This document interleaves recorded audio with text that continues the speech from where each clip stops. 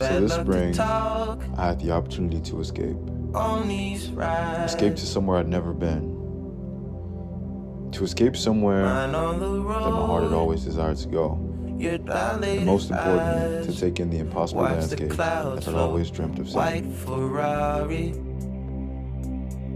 had a good time. 16, how was I supposed to know anything? Thankfully, I wasn't alone though. My guys Justice and Zen were there every step of the way. I didn't care. We wandered the forest of Olympic National Park, the plane, hiked up mountains, kept my mouth closed. and saw a lot of things so that we'll probably never forget. Yeah. White Ferrari. I did. He gonna look over at the edge and be like, this, this is beautiful. this is, this is beautiful, man. But this story doesn't start there. This story begins with me riding the Amtrak train for two days from Milwaukee to Seattle. Two days spent being astonished by views. road, Two days spent meeting new people. dilated. Two days spent doing a Watch the clouds float. sleeping. White And oh yeah, taking photos. had a good time. 16, how was I supposed to know anything? I let you out at Central.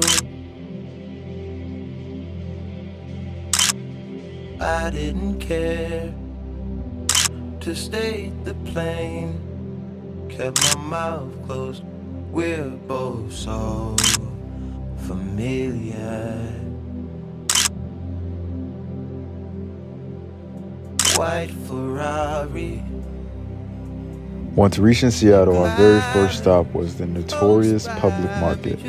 It wasn't until getting there that I realized everything was so expensive. I personally didn't buy anything, but Justice and Zen, on the other hand, well, you see it.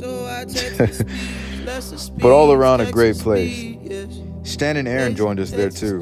Here's a few candid photos that I got of them. Uh, um,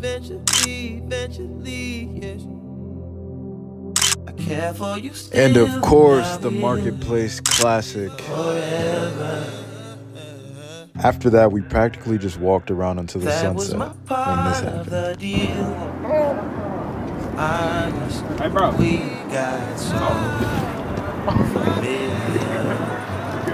Spending each day of the year.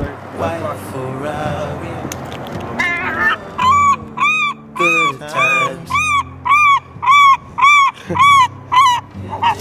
A, that was only a mango, and B, that had absolutely nothing to do with me. I was only holding the camera. And since I was holding the camera, I took these.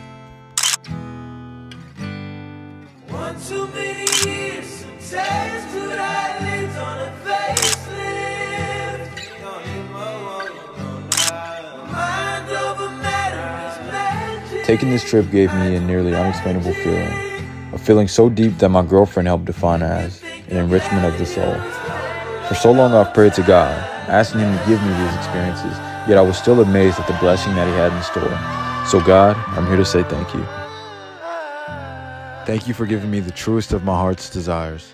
I pray that you give that someone out there exactly what their heart wants. I pray that you remind them that they can do it, for we can do all things through Christ who strengthens us. And lastly, I pray that they fight the good fight.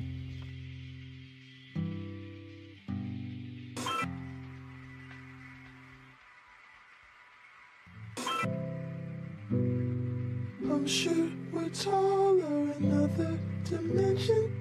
You say we're small and not worth the mention.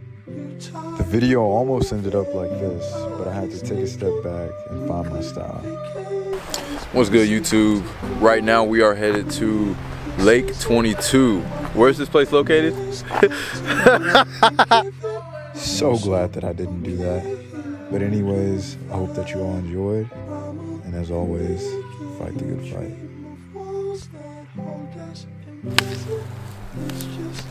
Oh, fuck! All the way out there? I said all the way out there. keep going. Fuck that. I forgot I was black.